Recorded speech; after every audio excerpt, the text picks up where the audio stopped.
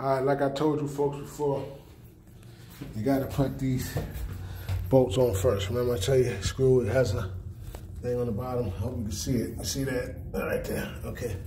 So you put those on first, but this one here is a little different. Okay. It has these pieces here on the back, right? You have to cock them like this. You got to cock them to the side. Got to twist them.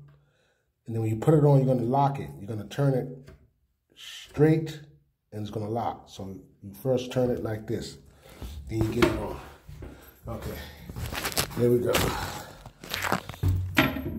Okay, get them on. You get them on here. Okay. Push it down. Push it down. When you push it down, you're going to have to... Ah. Make sure you got it on there. Okay. Got it on there good. Some of them gotta push down. Okay, you gotta push it, push it down. Okay, now it's pushed down. Make sure it's all the way down. Then you can turn the lock. Ah.